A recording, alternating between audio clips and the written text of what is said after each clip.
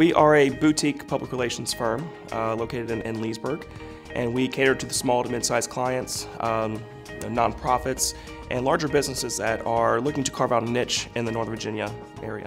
Well, I started my company in September of 2012. What was supposed to be just high school friends catching up um, over dinner and a few drinks turned into an event for about 1,500 people, a parade through downtown Leesburg, um, local and regional um, and even state proclamations being read on the courthouse steps, and a lady approaching me probably mid-afternoon that same day asking if I did consulting work, and that was it.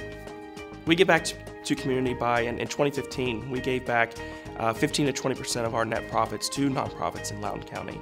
And also we gave back uh, about 300 hours of in-kind services to those nonprofits so that they can redirect their, their dollars that they would have spent on marketing or public relations services to go back to their mission. So it, it's all about community. It's all about you know, building up the, the small business network uh, within the area. And if your nonprofits are doing strong and the small business community is doing strong, then Loudoun is doing strong.